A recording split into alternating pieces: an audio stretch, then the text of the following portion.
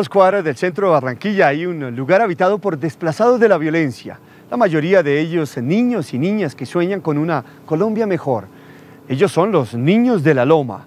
Nuestra corresponsal Eliana Álvarez, ganadora de varios premios en televisión como el Mario Ceballos Araujo y el de la Universidad del Norte, estuvo con estos pequeños.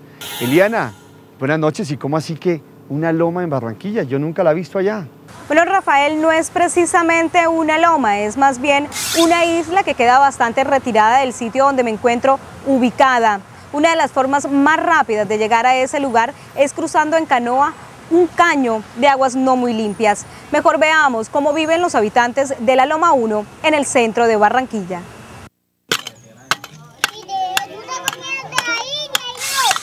Es algo que se ha convertido en una especie de ritual de todos los días. Cada vez que terminan de repartir la comida, varios pequeñitos se disputan las ollas para tratar de sacarle al aluminio los últimos sobrados. A veces uno la cuesta sin comer y tiene que buscar la comida porque uno se queda sin comida toda la noche. Estos son los niños de la Loma, un islote situado a un par de cuadras del centro de Barranquilla.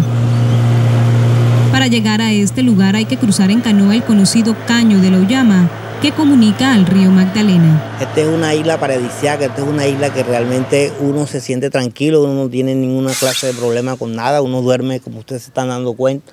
A la, deriva no, sino sin necesidad de, de ninguna clase de, así como ustedes nos están viendo, tranquilamente. Una isla que llaman paradisiaca, habitada por más de 100 familias desplazadas por la violencia. Nosotros venimos allá porque entraron unas fuerzas armadas, entonces llegaron a medianoche y nos hicieron sacar de allá con los meros pantaloncitos los pelados puestos y dijeron que se fueron desocupar el rancho si no los mataban todos los hijos que tenían. Y luego que salir volando de noche, reventando rastrojos por todas partes. Aquí tratan de llevar sus vidas de la mejor manera que pueden. Y es que no hay de otra. La violencia los trajo hasta este lugar que ahora llaman hogar. Esto los encontramos sin techo, porque la gente bandolera le quitó el techo, sin puerta y sin nada. Y esto con los esfuerzos míos y de mis hijos y mis nietos, le hemos estado poniendo techito. Bueno, ya ustedes me ven cómo estoy viviendo y quiero una ayuda de ustedes. ¿Qué ayuda quieres? Ah, que me den mi buena cama con mi buen colchón para yo acostarme a descansar. Ah, y, me den para acabar de componer esta, casa. Porque mire, esas son chorreras de agua y venga a ver. Esto lo tengo sin techo. Vengan. Vea, vea. Vea, vea. Esto lo tengo sin techo para acabar de echarle el techo. Quiero que me ayuden. Una ayuda que también necesitan los más pequeñitos, porque en la loma la mayoría de sus habitantes son niños. ¿Y qué edad tienes tú? 12. ¿Y qué ropa estabas lavando? La ropa de mi papá, de mi mamá. ¿Y ellos por qué no la lavan? ¿Dónde están? Porque mi mamá está porque mi mamá está ocupada en la tienda y mi papá está poniendo una botobomba por allá. Niños a quienes les toca asumir por momentos una vida de adultos. Mi papá trabaja. Pues mientras que mis papás trabajan, yo aquí le hago el almuerzo a mi hermano y los cuido.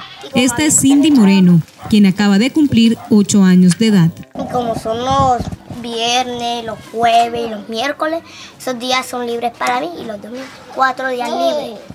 ¿Libres qué haces en esos días libres? Juego y me divierto. Hablo con mis amigas, chismoseo. Tan niña y tan adulta, tan inocente pero madura, tan juguetona pero tan seria. Esas son las cualidades de Cindy Moreno Erazo, quien sueña con una tarima y un gran público que tararee sus canciones. ¿Qué te gustaría hacer cuando grande? y llegar muy lejos.